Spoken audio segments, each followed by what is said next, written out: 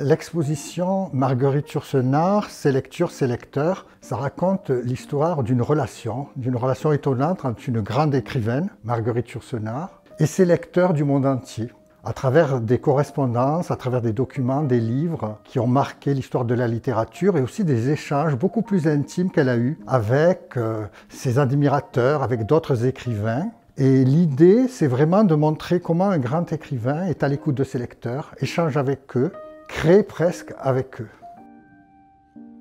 Là, nous avons un tableau, un portrait de Marguerite Yourcenar, fait en 1953 à New York par une peintre américaine qui est une amie de Marguerite Yourcenar, Ina Garsoya. C'est un tableau très personnel, très intime, qui ne nous montre pas la grande écrivaine majestueuse qu'on a l'habitude de voir dans certaines photographies, mais l'amie, la femme intime, l'écrivaine dans sa maison euh, de l'île des Monts Déserts où elle a vécu une grande partie de sa vie aux États-Unis. Ces belles expressions euh, sur son visage, son regard euh, bleu-gris, flamand. Et justement, c'était pour illustrer cette cette proximité, cette simplicité de la femme qui écrivait à ses lecteurs, qui répondait à des dizaines, des centaines de lettres toutes les semaines et qui a créé un lien très fort avec ses, admirateurs du monde entier. Madame, en vous envoyant le roman que je viens d'achever, j'affronte certainement le jugement que je redoute le plus. Je me rends compte, Madame, de ce que cet envoi a d'audacieux, peut-être de fou. J'ai vécu si longtemps près de vos ouvrages que l'idée m'est venue de m'adresser à vous. J'ai bien reçu votre aimable lettre et ai failli n'y pas répondre, manquant du temps qu'il faudrait pour décrire une journée de ma vie. Disons seulement que depuis des années, mes journées sont presque entièrement données au travail, ou ce qui revient au Je me doute que vous recevez chaque jour des lettres de ce genre, mais j'espère que vous me répondrez. En attendant votre réponse, je reste, Madame, votre plus fidèle et plus reconnaissant admirateur. On sait que Marguerite Yourcenar a passé une partie de son enfance dans le Nord, au Mont-Noir exactement, en Flandre. Elle était originaire de cette région, aujourd'hui euh, à l'emplacement euh, du parc départemental Marguerite Yourcenar et de la villa Marguerite Yourcenar. Et elle a toujours, tout au long de sa vie, gardé un lien euh, vraiment fondamental, très fort avec cette région cette région qu'elle racontera, qu'elle évoquera euh, dans plusieurs de ses livres. Et on a la chance d'exposer les correspondances qu'elle a échangées avec des personnalités flamandes. L'un des livres importants de Marguerite Yourcenar, c'est Archives du Nord. C'est le volume de ses mémoires qu'elle a consacré à son enfance au Mont Noir. Et ce titre, en fait, elle s'est inspirée des archives départementales du Nord, où se trouve en ce moment euh, cette exposition.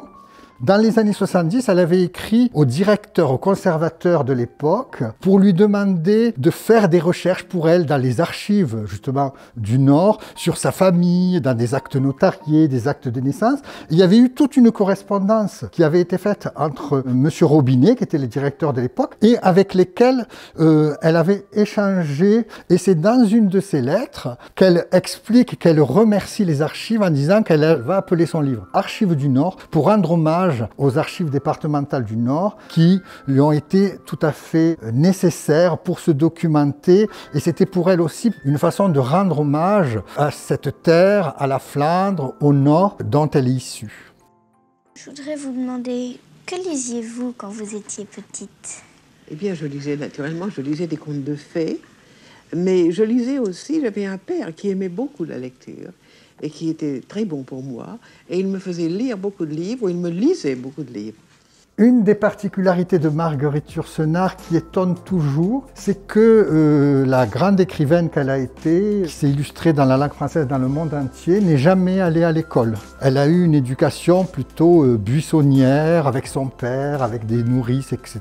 Et surtout en se plongeant dans la littérature. Elle avait une idée de l'éducation qui était une idée d'une éducation très libre, ouverte, de découverte, etc. Et tout au long de sa vie, elle a beaucoup échangé avec des enfants qui lui écrivaient, puisque certains de ses livres ont été adaptés pour les enfants, illustrés. Le plus connu, c'est Comment Wang Fo fut sauvé.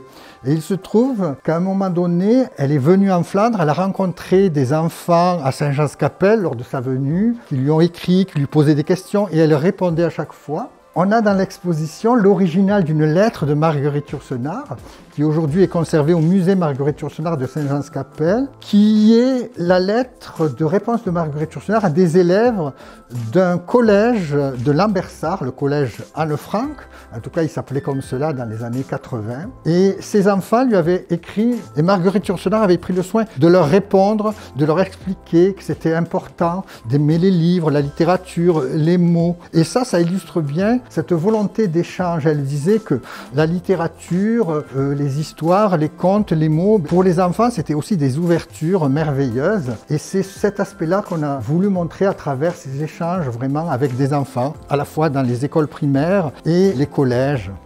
Dans cette exposition, on a également voulu illustrer ce qu'on appelle les exercices d'admiration. Marguerite Yourcenar est un grand écrivain connu dans le monde entier. Elle recevait beaucoup de correspondances et elle recevait aussi beaucoup de ses admirateurs des œuvres, des poèmes, j'allais dire des vers de Mirliton. Dans le fond Bernier Yourcenar des archives départementales du Nord, on a la chance d'avoir justement des exemples de poèmes en français, en anglais, d'hommages que les gens lui envoyaient au moment de son élection à l'Académie française ou qu'ils ont écrit après sa mort. Et ça montre aussi le rayonnement de son œuvre, ça montre aussi les hommages qui, marquent un grand écrivain. On a aussi la reconnaissance de ses pairs, l'envoi de livres dédicacés et on expose une série de dédicaces d'écrivains euh, connus, reconnus ou moins connus qui lui envoient leurs livres avec des dédicaces toujours très louangeuses. Alors l'une des curiosités de, l'exposition, et c'est un peu la note humoristique, on expose un document qui est un pastiche, une œuvre qui s'appelle euh, ou le triomphe des femmes. C'est un auteur québécois qui s'est amusé à composer en alexandrin une pièce en vers, donc, qui s'inspire de l'art de Racine, l'art classique Yourcenar émettant, et qui met en scène Marguerite Yourcenar de façon humoristique et cocasse lors de son élection à l'Académie française. Et on expose également vis-à-vis de, ce petit livret la lettre qu'avait envoyée Marguerite Yourcenar à l'auteur pour le remercier de l'envoi et lui dire qu'elle-même, elle, s'était amusée, que l'on pastiche ainsi une cérémonie aussi officielle que son élection comme première femme à l'Académie française. Si Marguerite Yourcenar est un grand écrivain, elle est aussi avant tout une grande lectrice.